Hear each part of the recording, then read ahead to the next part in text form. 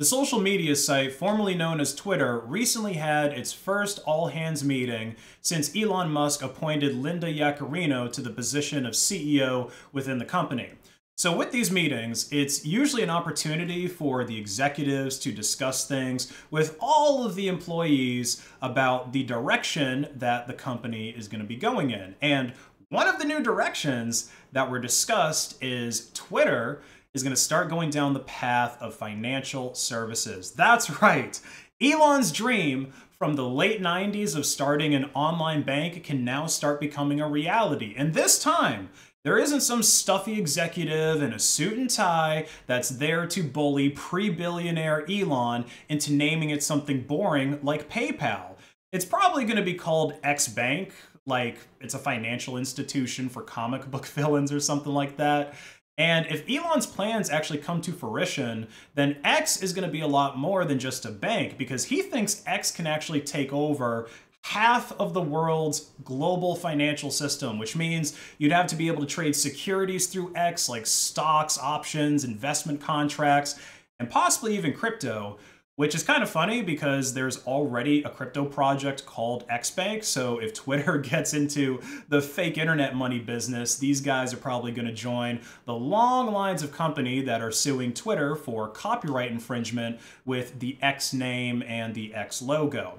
Uh, but anyway, the site, formerly known as Twitter, trying to become a financial institution, is really part of this bigger picture of Twitter becoming an everything app. Okay, remember, that was one of Elon's initial goals when he first started taking over the platform. He specifically said that he wanted Twitter to become something more like WeChat, and actually, he wants it to go beyond what WeChat and other similar everything apps have done in places like China.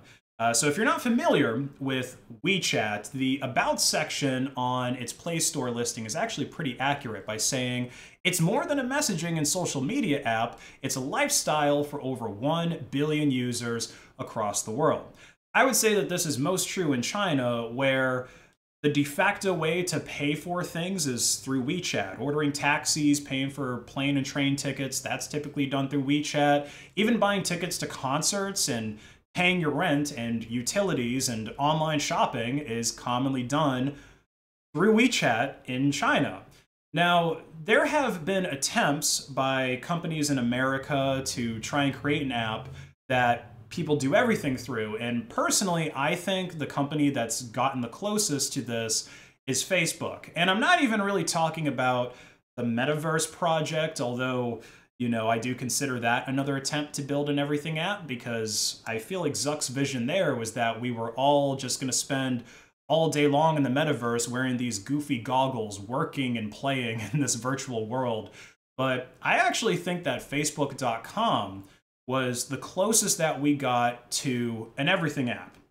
So, you know, these days, Facebook.com is pretty much dead, but back in my day, around, I guess, circa 2009, Facebook served the purpose of what 12 or more different apps would do these days. So it was really the only social media site that people used prior to 2010. I mean, Twitter and YouTube did exist, but they were teeny tiny companies compared to Facebook. And actually, Facebook's content algorithm was better than YouTube's was back then, at least in my opinion. And the YouTubers of old they knew this, which is why all of them had Facebook pages. They would share their videos to Facebook. And when they did this, the you know, there was a comment section on Facebook, there was likes and dislikes. You could consume and engage with these videos almost exclusively on Facebook. Millions of people were consuming YouTube videos through Facebook back in the day, probably without even knowing what YouTube was. And Facebook Messenger also used to be part of Facebook. And because the messenger could be used over Wi Fi and it didn't require a phone number, uh, it was used as a texting alternative by a lot of people. Remember, this is back when you paid by the minute for texting. Um, and you know, since Facebook was the most popular social media app, it was also used as a dating app before dating apps were really a thing. It was a Craigslist alternative. It had crappy mobile games before those became a thing. It had pretty much everything except for processing, you know, payment processing that WeChat has and that Twitter is now trying to develop. But obviously, they never managed to work in that financial services part. And over the years, companies like Facebook, Google, and others that make apps that do just about everything have followed this trend of splitting features out into different apps as they start developing those features more and more so that they can focus on it more within a new app. Now, obviously, going against corporate trends is kind of Elon's whole MO, but the main reason that I don't think X, the Everything app, is going to succeed is the circumstances that allowed WeChat to succeed just don't exist here in America or really anywhere else other than Southeast Asia. So in China, Android is the most popular mobile OS by far, but services like Google Pay, Google Maps, and the Play Store are blocked in China. Even Google Search is blocked in China.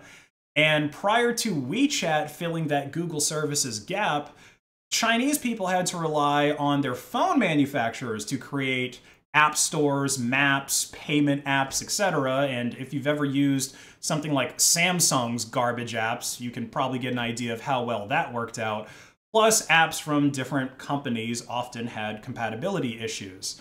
So WeChat basically became a stand in for Google, PayPal, Facebook, Uber, and all the other big tech apps that are blocked in China, which is how we got to the point we're at now where Android and iOS are basically just glorified bootloaders for WeChat for users in mainland China.